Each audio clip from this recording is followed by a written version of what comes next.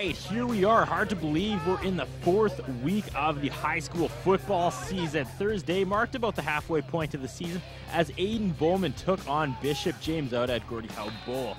Going into Thursday's game, the Aden Bowman Bears were sitting one spot below the first place St. Joseph Guardians in the East Conference, and over in the West Conference, Bishop James Saints sat fourth place. BJM definitely had their work cut out for them Thursday night. That being said, let's roll the highlights. Things starting off messy for BJM. Early in the first, Nolan Brudell sends it to Matt Boyko, who lets it slip. She bounces a few times and right into Bowman's Graham McCulloch, who carries it back. And that spells doom for Bishop as two plays later, Clayton Garnett fakes the handoff, decides he doesn't need help, and just like that, Bowman takes the lead 6 0 early in the first.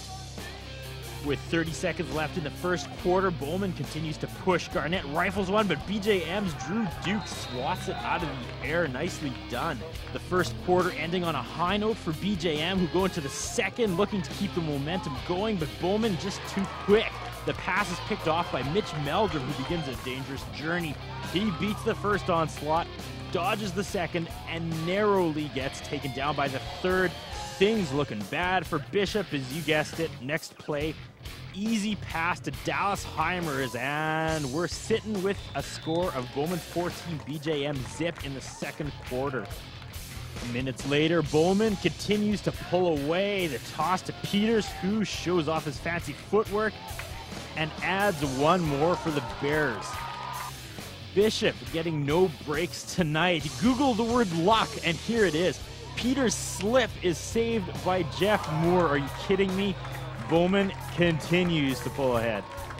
Let's take a quick break from the action. We go to the crowd. Bowman's fans predictably fired up, while Bishop supports uh, a little more modest. Now, while it may have been Bowman's game, I got to give the highlight of the night to BJM. Minutes left in the first half. Bowman fires one out and put the kids to bed. I can't even tell which bear that was. Bishop's Brock Zunty knocks his number clean off the jersey.